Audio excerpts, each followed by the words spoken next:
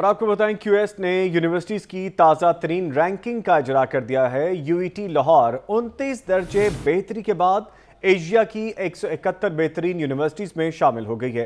आगाह करें आपको क्यूएस ने यूनिवर्सिटीज़ की ताज़ा तरीन रैंकिंग का इजरा किया है और इसी में यूईटी लाहौर उनतीस दर्जे बेहतरी के बाद एशिया की एक सौ इकहत्तर बेहतरीन यूनिवर्सिटीज़ में शामिल हो गई है।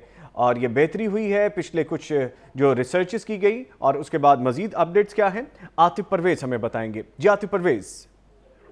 जी जो रैंकिंग का उसकी जानब से जो है, एशिया की यूनिवर्सिटियों की रैंकिंग जारी की गई है, और उसमें यूईटी ने मतलब बेहतर कारकर्दगी दिखाई है, और उनतीस दर्जे ऊपर आया और अब इसकी जो बैन अवी रैंकिंग है, वो एक सौ इकहत्तर हो गई है, और गुजशत सालों में यूईटी ने दो सौ इकतालीस के बाद दो सौ नंबर हासिल किया और अब एक सौ इकहत्तरवें नंबर पर आ गई। पाँच साल के मुख्तर अरसे में यूईटी ने लाहौर की अस्सी दर्जे में नुमाया जो कारकर्दगी दिखाई है। इस हवाले से आज खसूसी मीटिंग भी हुई, जिसमें dean civil engineering department of professor doctor Abdussattar Shakir dean chemical engineering professor doctor Nadeem Feroz और रजीदार मोहम्मद आसिफ समेत वाइस चांसलर ने शिरकत की और वाइस चांसलर का कहना था कि ये तमाम तर जो काविशें हैं, वो जामिया के फैकल्टी से है और आइंदा भी जो है मुस्तकबिल में रिसर्च जो है, उसको फरोग देने के लिए इकदाम करते रहेंगे। आने वाले सालों में एशिया की सौ बेहतरीन यूनिवर्सिटियों में अपना मुकाम बनाएँगे।